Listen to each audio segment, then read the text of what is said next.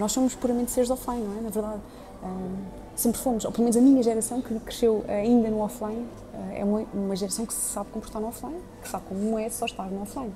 Uh, e o constrangimento de, desse demasiado apego relativamente à internet às vezes uh, pode-nos fazer questionar sobre até que ponto é que estamos a deixar que esta realidade seja tão, uh, um, tão um, que nos consiga estar aqui a criar um grandes celeumas desse ponto de vista, na medida em que já não estar com amigos é estar com amigos ou é estar na internet com amigos. Uh, um grupo, porque a vida social normalmente agora transfigurou-se nisso, não é? Uh, numa conversa já ninguém não consegue estar com o telefone em cima da mesa, uh, no WhatsApp, e portanto será que estamos a ter uma interação do grupo ou estamos a ter uma interação de repente com 30 pessoas quando nós achamos que só estão 5 aí na mesa, não é? Isso é uma coisa que é muito interessante de assistir, constrangedora também, porque já não sabemos o que é a nossa vida sem estar na internet ou sem ter um telefone por perto.